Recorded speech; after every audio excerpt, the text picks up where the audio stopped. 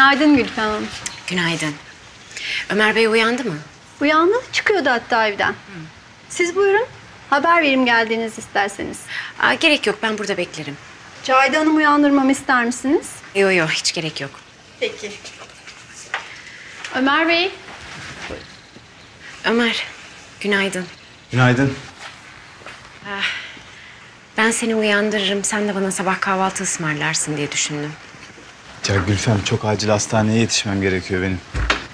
Kahvaltıyı başka bir zaman yapalım olur mu?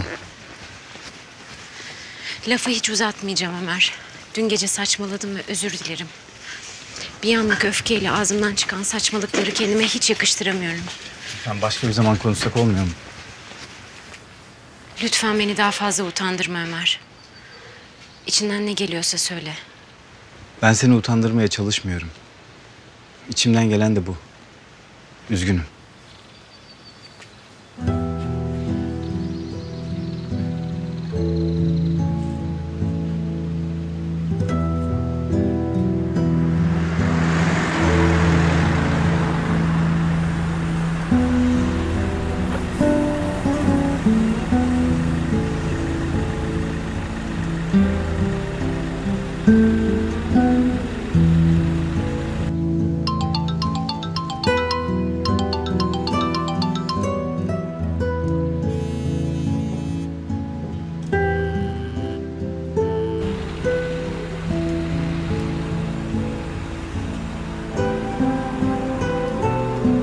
O kızda adını koyamadığın bir şey var demiştin.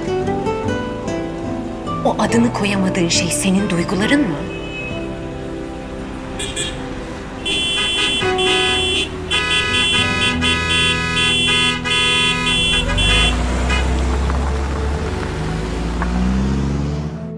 Ya babam serada herhalde.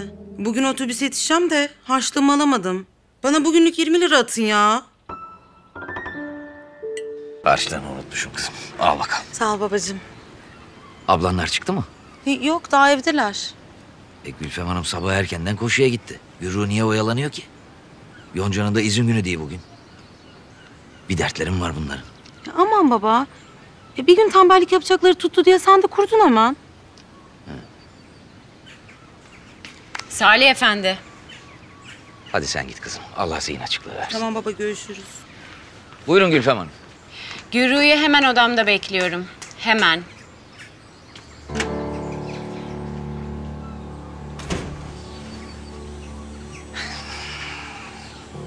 Ya çok hasta de, sesi çıkmıyor de. Ya de işte bir şey Allah Allah. Sanki zahmet olacak. Öf Yonca sıktın ama. Okul kırar gibi iş mi kıracaksın? Ara işte hastayım, ölüyorum ben, gelemiyorum de yerler zaten. Ya kızım, danışmadaki kıskanç zillere laf mı vereceğim şimdi? Ya sen ara işte. Bak hatta bırak danışmayı aramayı. En iyisi sen Ömer Bey'i ara. Onu arayıp söyle daha iyi olur ha? Ya manyak mısın sen? Niye Ömer Bey'i arayayım ben ya? Ne alaka Ömer Bey? Ne bu samimiyet ya? Arkadaşım sanki benim. Ne bağırıyorsun ya? Ya 40 yılda bir... Yürü. Gülfem Hanım seni bekliyor kızım. Sabah görünmedin herhalde. G- gidiyorum şimdi. Bir terslik yok ya. Yok babacığım yok. Ben gideyim bekletmeyeyim. Yonca sen niye oyalanıyorsun kızım? Ben, ben şey, şey baba... Ben sabah seraya giderken doktor bey arabasına biniyordu. Böyle doktordan sonra işe gidilmez ki kızım. Hadi toparlan bakayım sen de hadi hadi. Ya sabır ya Rabbi. Buraları kim toparlayacak?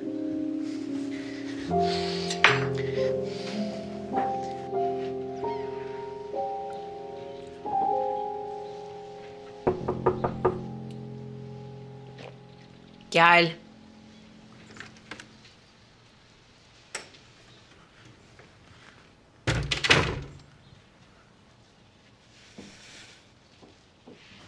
Günaydın Gülfem Hanım. Beni çağırmışsınız. Banyomu hazırla. Hadi. Spordan geldim terim soğumasın.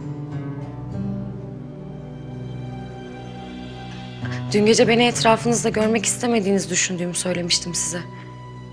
İşi bırakmamı tercih etmiyor musunuz? Evet. Dün akşamdan yarım kalan bir konuşmamız var. Evet sadece bir dakika demiştiniz.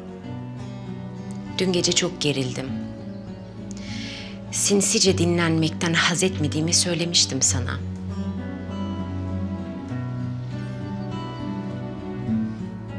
Ben sizi sinsice dinlemedim. Ben sizi dinledim. Çünkü adımı duydum. Çekip gidemedim. Her neyse. Kulak misafiri olduğunuz tartışma son derece kişiseldi. Konu sen değildin Gürru. Aksini düşündüysen bu çok saçma olur. Ömer'le ikimizin arasında herhangi bir sebepten dolayı sen nasıl konu olabilirsin ki? Gülfem Hanım dün benim adım geçti. Hem de çok çirkin bir şekilde. Sen sadece bir örnektin. Ömer'i eleştirirken verdiğim sıradan bir örnek. Örnek Ömer'in mesafesizliğinden bahsediyordum ben. Dün senin adın geçti. Yarın Ayşe'nin, Fatma'nın adı geçer. Bu kadar basit. ben hiçbir şey anlamıyorum. Yani siz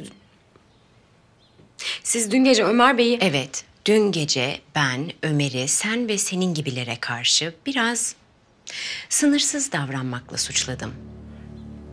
ben ve benim gibiler. Gürru, sen bu evin bir çalışanısın. Ömer'in arkadaşı değilsin.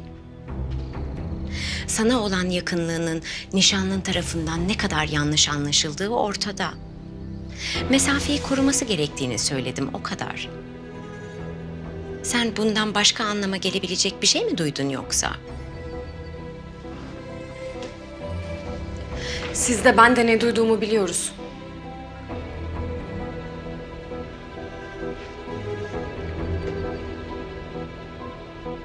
Sen duyduklarına fazla anlam yüklemişsin küçük kız. Neredeyse bizim aramızda bir kriz sebebi falan olabileceğini mi iddia edeceksin? Hem de bir kıskançlık krizi. Gerçekten kendini bu kadar büyütebildin mi sen?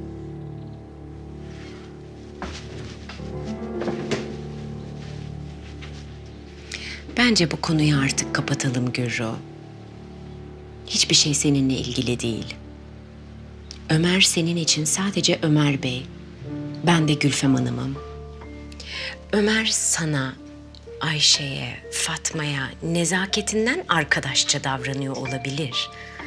Ama arkadaşın olmaz. Olamaz. Şimdi banyomu hazırla lütfen. Terim daha fazla soğumasın.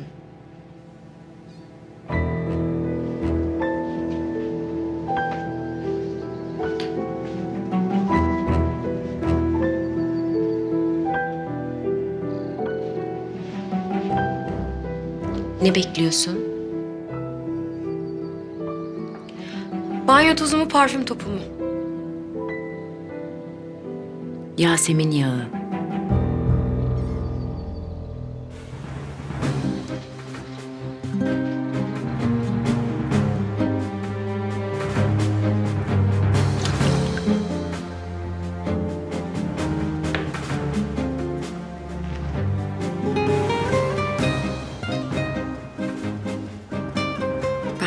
Görünmez değilim Gülfem Hanım. Ayşe Fatma da değilim.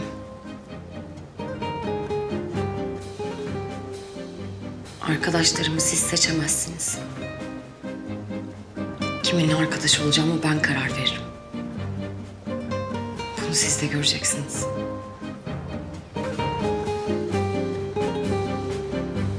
Kanalımıza abone olarak tüm videolardan anında haberdar olabilirsiniz.